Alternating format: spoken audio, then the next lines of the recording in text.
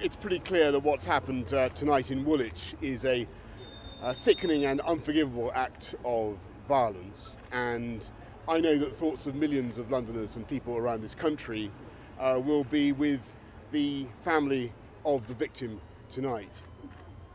It is really far too early for us to uh, draw the conclusions, and uh, what we need to do now is just get the full facts, and that's why I'm going in here tonight. Thank you.